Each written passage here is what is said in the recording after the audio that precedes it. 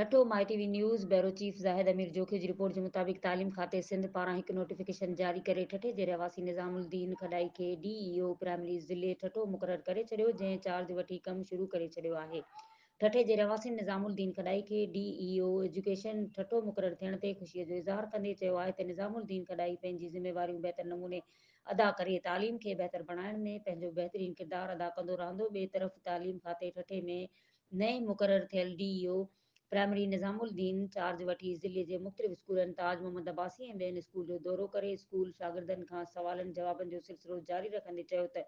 ज़िले ठठे जे समूरनि स्कूलनि में इल्म ऐं शहूर जा ॾींहं ॿारे ज़िले ठठे खे आला ऐं